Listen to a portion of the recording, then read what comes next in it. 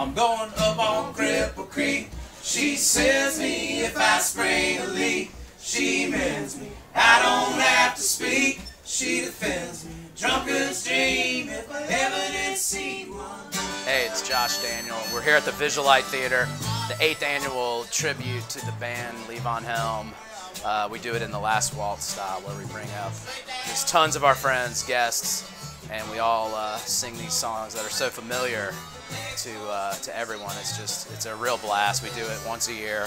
Pat Mulholland, myself, and our other friends, we got to open for Levon Helm in 2010, and uh, it was a very special thing because we love the band. They're like they're probably our favorite.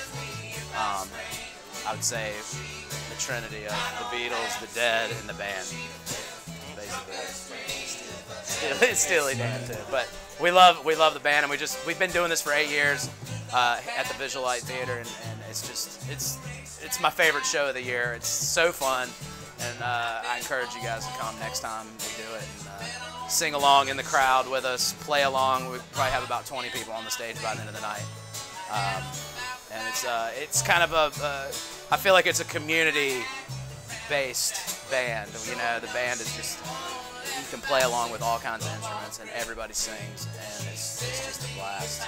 I think we were doing it one time the first time and then the first time it was so it was so great. So let's do it again next year and then it was like okay now it's on and it's uh, this is the eighth year.